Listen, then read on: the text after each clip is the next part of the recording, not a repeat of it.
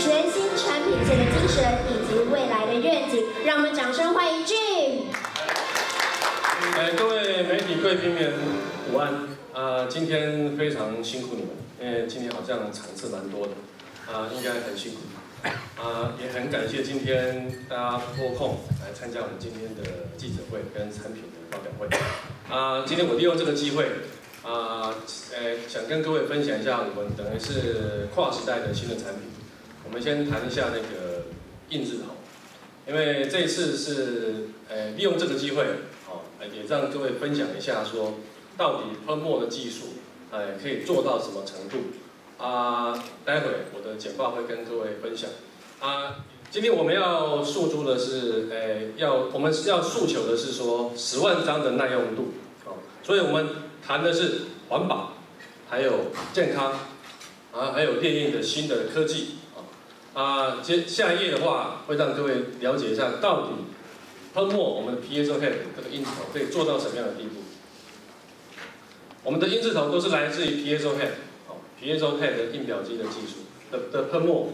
啊，我们希望未来我们要带给消费者的感觉是 worry free 的 technology，啊，所以我们将它说是超人，啊，各位可以看到，这个就是我们我们的印字头，它可以做哪些事情呢？待会我会很简单的让各位让让各位保证看完之后会非常好记。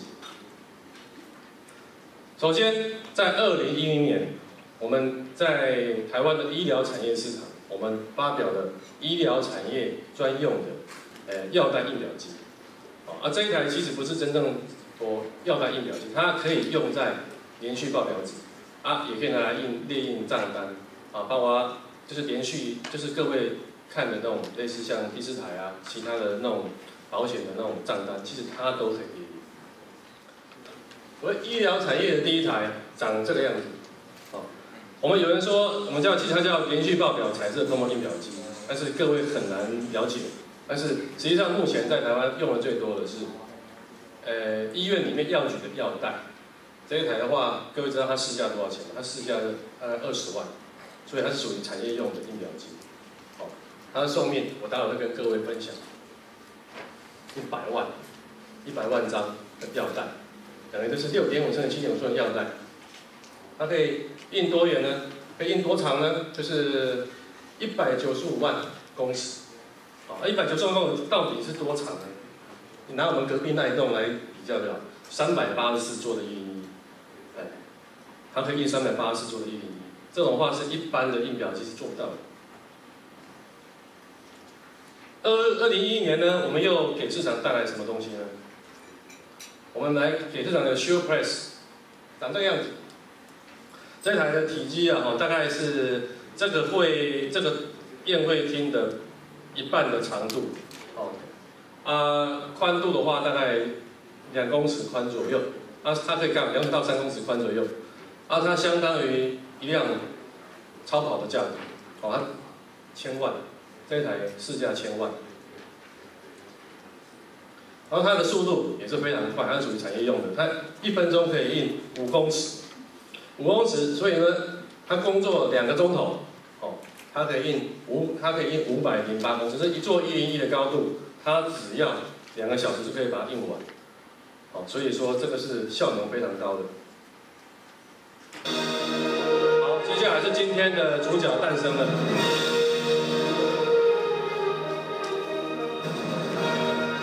我们叫商用族群，Workforce，WF。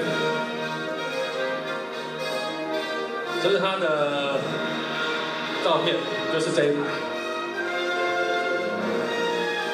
还有十万张的耐用度，等于是一般 entry model 哦基本款的镭射的三倍，它是竞争品牌顶级喷墨的四倍的四倍的变异的寿命，它十万张但是可以印多远呢？多长呢？二十九万七千公尺。是用一零一来让各位想，五十八座了。各位想想看，能够一一台一秒就可以印五十八座一零一的长度，那非常可怕。就是不排除啊，可能在未来两三年之内，你会看到，呃，两台可以印一座长城，这也是有可能的。先跟跟各位拜个关子。好，我们现在开始介绍一下这一台到底有什么特色呢？哦，我们强调的是绿能，哦，其实是绿能中电，我们叫，它是零粉尘、零废气、低低排碳、低耗电。各位都知道吧？刚刚来的路上，如果走路的，应该会觉得说，哎，台北市空气真的不太好，尤其这附近车子特别多，公车排放出很多废气。但是呢，你回到 office，有镭射，其实镭射也是会排碳，然后还有粉尘。这一台没有碳，哎，这低碳、零粉尘、零废气。相对于镭射的话，它是完全没有任何粉尘，低排碳。相较于的话，环保署规定汽油度排放量它少于四点六倍，哦，那它比镭射汽油度排放量少一百六十公斤。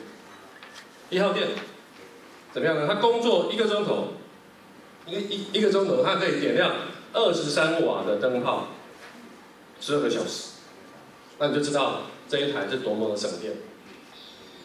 然后还有省钱的，因为省钱大家卖喷墨都已经讲了很久了，省钱省钱，但是省钱以外，我们还要省电。哦还要没没有废气，没有排，没有粉尘，它硬五毛，但是呢，最大的是说，它最大的差异是说，镭射是有消耗性零件，而且它它寿命很长，十万张嘛，十万张镭射一定会有消耗性零件，这一台没有，所以就知道它可以省多少消费者的多少钱，高耐用，哦，十万张的的硬量，相较于喷墨，比那个近铁的顶级喷发是四倍的寿命，因此。那接下来，各位大家会想说，那它的印出来效果到底怎么样呢？好，我想每个人都都会知道，因为我们办公室都会用镭射嘛。如果是音量多，会用镭射；音量多，一定是要用镭射，高速也是镭射。但是呢，音量少的真正中小型办公室的话，其实喷墨就够了。这个照片是喷墨印的，这是镭射印的。大家会以深浅度来定义说，镭射好还是喷墨好？一般都会认为说。轻就是好，哦，啊，印起来轻轻啊，就是较水，其实不见得。再继续看，你看上面的花跟他的手，实际上喷墨可以看到花瓣，但是镭射可以看到花瓣，好像是花瓣，其实是一勾。还有手上的指纹，喷墨看得到，镭射不见得每一台都看得到。所以细腻度从这边就会看得出来。还要比什么呢？这两张是我们镭射新机器的照片。看红色框框，红色框框有什么差别呢？各位看一下，这边其实有很多灰灰的点点，它没有真实的呈现。喷墨现在整面白，因为这台机器其实它的真身是白的，但是印出来效果呢，色彩精准度是不一样的。它又绿了，又环保。又省电又耐用，好，这个是印出来的效果。好，我们下一页，一般的黑白的文件的时候怎么办呢？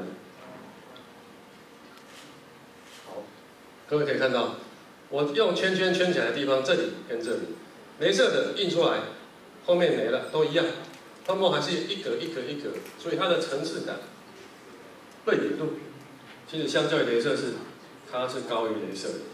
哦，所以说这一台在欧洲上市以后大卖，为什么？因为欧洲人很重视环保。哦，所以说台湾这么小，哦，我们应该要让废气少一点，哦，让粉尘少一点，哦，让电用少一点，因为电价台风没有提起啊。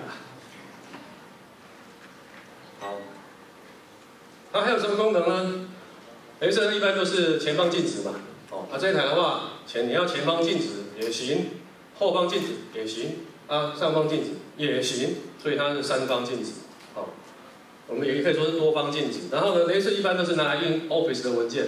各位看，这台相片，一般对喷墨都说啊，喷墨的是印照片的啊，但是印信封啊、收据啊、印行录啦、标签啦，其实最大的差异是标签，还有各种不同的制裁。这一台喷墨一机可以搞定，所以它非常适合中小企业，哦，人数少，然后二十人以下或十人以下，它最适合，因为它是多功能的嘛。啊，像标签，大家都知道里面有胶嘛，你用镭射印，它有经过高热烤过，烤过之后凝体啊，但是呢，喷墨没有这个问题。好、哦，这个是目前我跟各位分享喷墨跟镭射最大的差别。所以也希望呃祝我们这一台可以呃上市成功。谢谢各位。